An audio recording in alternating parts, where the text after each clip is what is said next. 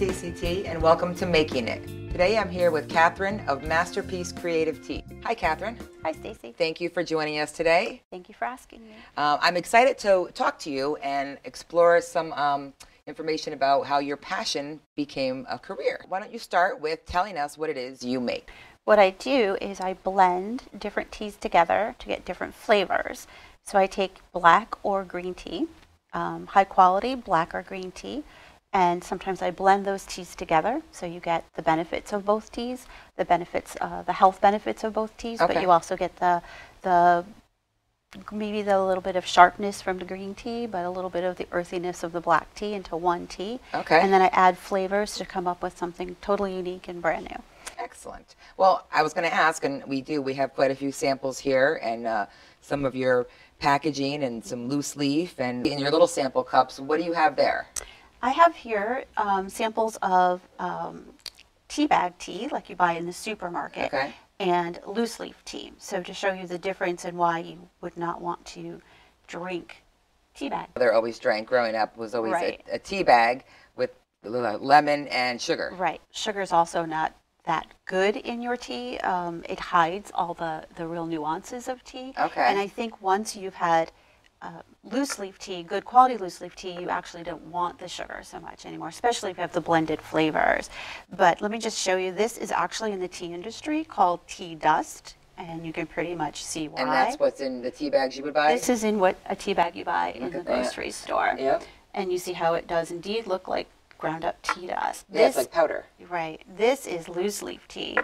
And even if these were wet, you would see these unfurl and actually look like leaves. Okay. Um, this is black tea. This is is a bag from a bag of chamomile tea. Okay. High quality chamomile tea that you can buy even in a health food store. And as you see, it's still all ground up. This is what chamomile tea should look like. Oh, wow. The You can actually actual see it looks like flowers, yeah? Right. The Yep. actual flowers of chamomile tea. So that's the difference between loose leaf tea and tea bag tea. And I know some people will say, well, you know, the loose leaf tea is, is a lot more expensive. First of all, that's relative. It's not a lot more expensive because there are some pretty expensive high end tea bag Yeah. teas out there. But what the difference is, you can also get more steepings. Like, for instance, if I were to make a cup of tea, Like how much would you put pinch. in? We call I- it a three finger pinch. So Okay. it would be like this, would go in for one cup, like about this size. So I would put this in my steeper, and if I could just use your pot, if Yeah. it was in here in the steeper, I'd put it in there and pour it full of water. I could get probably three cups out of this Oh, wow, little okay. bit of tea because, especially a good quality black or green tea without flavorings, you will get more um, cups of tea than you will. This is one tea bag.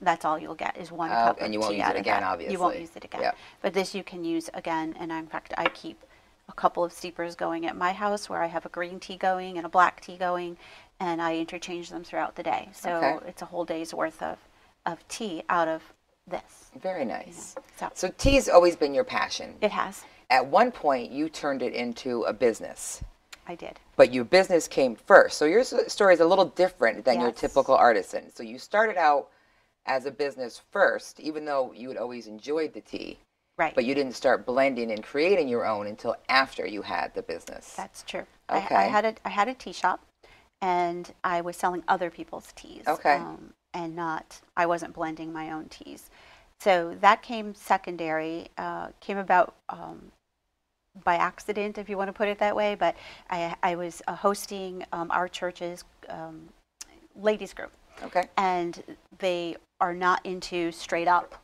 black or green tea as that was as I was serving and they wanted something fruity. Okay. So I put together a fruity tea on the on the fly, and it came out to be uh, the Women of Grace tea, Oh. is what we called it because that was the name of the group. They loved it so much that every week they kept wanting that same Really? tea. So at the after the first time of making it, I didn't write anything down. Oh, I so you kind of had to wing it again. I did have to wing it again, but I actually came up with it again, and now and then I wrote my recipe if you want Oh, to good. consider it that way. So I go back to it. But even so, every time you blend, even though it's a repeat tea, um, it takes a lot of tasting to get it still back to exactly how it was. Because uh, you know, it's I'm not an industry with manufacturers that just throw so a recipe. when you have your your flavored tea or your blended teas, if you have two different ones, are you gonna are they gonna taste different if they're if they're the same one, two different pack you know packages? If you're getting the same three packages out of the same batch, no, they should pretty much taste all the same. If you were to get the say the late the Women of Grace tea today and come back and pick it up three months from today, it might taste, might taste a a little, little different. Not a whole lot, and you may not realize it unless something that something a tea connoisseur might notice, but the average person might not. but all the ingredients would still be the same in the same proportions. It would just, you know, it's it's handcrafted. yeah, absolutely. It's like no two paintings are the same. When you had your business and, and, and the store, um, and then you started blending your own, is it more of a art for you still, or is it more of a business? How, how do you look at it more now? Still art. Still more of an art? Yeah.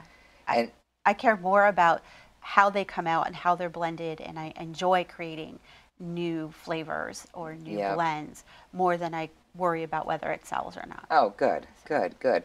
Now you're your own boss, obviously, and you. I'm assuming you look at yourself that way. Yeah. And what do you find the best about that? What do you What do you enjoy about being your own boss?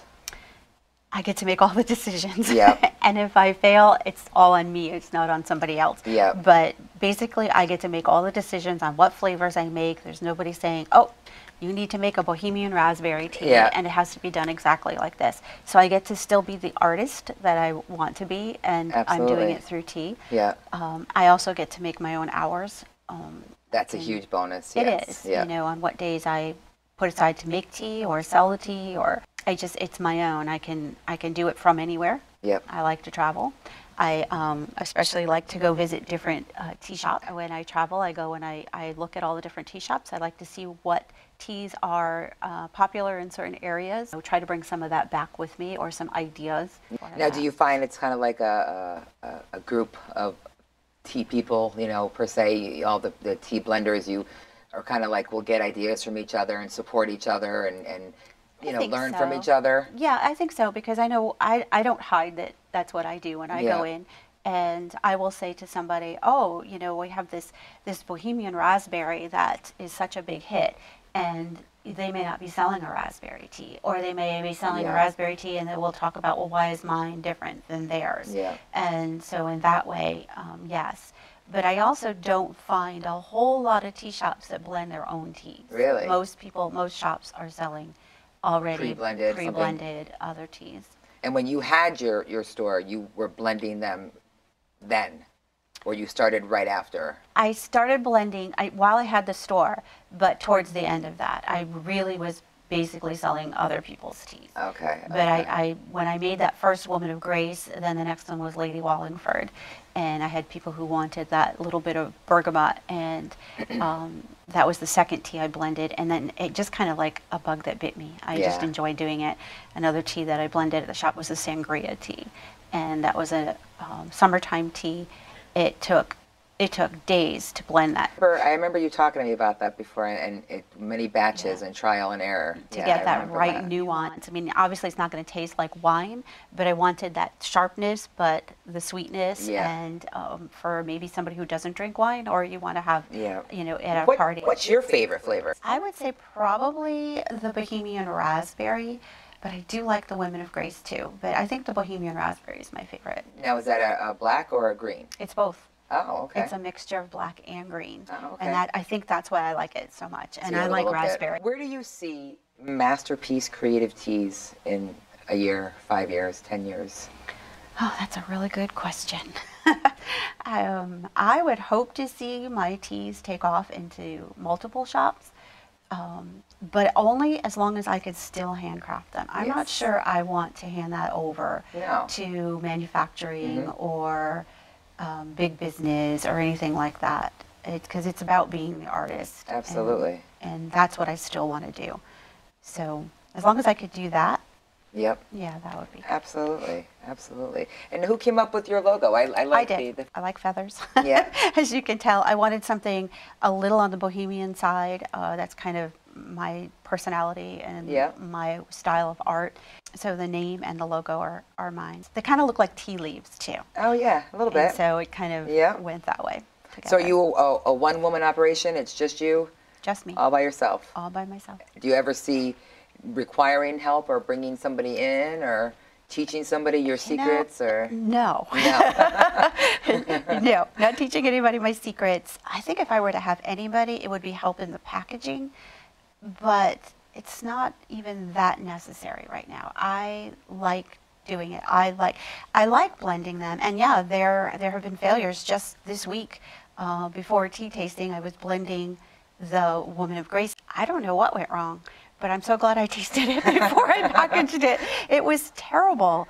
And I did have a friend over, so that helps to have somebody else taste it as well. And I gave it to her, and I was like, what is wrong? But it was just so bitter. I actually had to throw the whole batch away. Really? Did she agree to? Oh it yeah. wasn't, yeah. Oh yeah. I think I figured out what it was, and um, it was a change up in the, the tea quality was better and richer on the green tea. Okay. And so it needed less of it, is what it is, and that's what I mean. Like you never know. the- never know, The yeah. same recipe, but the tea quality changed, and it because I got it from a different place. Okay. See, I like that. That's that's my mistake, or that was my tea that went bad. It wasn't even really a mistake, and threw it out, and I can start all over, and nobody's sitting there counting the pennies, or mm-hmm. you know, you can't throw you can't throw that out. Yeah, yeah, anything like exactly. So, exactly. Yeah.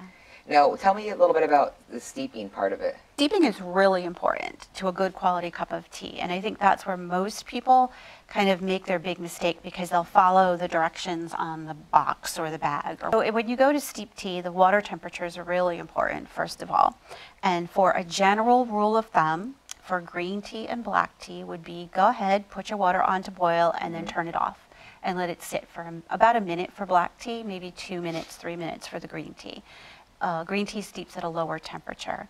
And then you want to steep your tea probably about a minute to two minutes. If you look Really? at the box, they're going to say like three to five. Yeah. The longer you steep tea, the more bitter it is and the, the stronger it is. So, I mean, if you really like a good, strong, say, an English breakfast Mm-hmm. tea or a Scottish tea, then you, yes, you could brew that a little longer. Or what I like to do is just throw a little bit more tea leaves in so you get that richness Okay. and that and another uh, cool trick is if you're watching your caffeine intake and you don't like decaffeinated teas is to go ahead steep out the first um, steeperful for about a minute throw that out and then steep it again and then you'll have less caffeine in the cup. Really? yeah Okay. so most of the caffeine comes out in the first steeping. So it's it's good that's to know good to too. know. It is. Yeah. So you're not even like I said when I have my tea sitting for the day, by my third cup of that same tea, it's not nearly the same caffeine level, so I'm not getting all of that caffeine Yeah. um, as well. Very good. I thank you for taking the time today to teach us. I know I learned a lot. And my, like I said, growing up, my mother would take the, the tea bag, put it in, and, and take it right out, and always the boiling water right from the stove. But you're saying Right. now not to do that. I also think that tea is much better um, without the cream and sugar. I always drank tea with cream and sugar. That's how I was brought up. That's how my family drinks Yeah. it. And I was an exchange student in France. And the first cup of tea they poured for me, I added cream and sugar, and they started laughing at me. and I was like, "What? You know, what? What did I do?" And they're like, "Oh, you drink tea like the British." And so I never, I never, Never drank it. it again with anything in it. Always drank it That it was it for you. That was it, and still do. Um, but it is much better. And when I hold a tea tasting, I don't have sugar or cream out because you need to be able to taste the flavors pure. Okay. Then, if you want, there are some teas that lend itself to a little bit of sweetness, like the chai masala. Yeah, I um, love is that really one. good. I love that It- one. It is good, and it's good with maybe a hint of, of sugar, but Mm-hmm. even better to use like almond milk Yep. or coconut milk that has a hint of sweetness to it naturally, Yep. and it just pulls out that flavor, the, the cardamom and the cinnamon. Yeah, oh, I love it. I really warm love it, yeah, flavors. Yeah, it's a very good windy. Lady Wallingford, I think it's perfect just the way it is. I wouldn't add anything to it. The Woman of Grace, I have seen people add a sweetener to it. It's fruity, so maybe there's, you know, they like a little bit of that. Um, I prefer it straight. Thank you again, and it's been very educational, and I know I learned a lot, and I'm sure our viewers did too. I wish you much success Thank in all that you do and wherever you take Masterpiece Creative Teas. Thank you, and thanks for having me. Oh, you're very welcome. I'm Stacey T, and I want to thank you all for tuning in and watching Making It Artisan Stories. And remember, when you shop small, you're supporting a dream.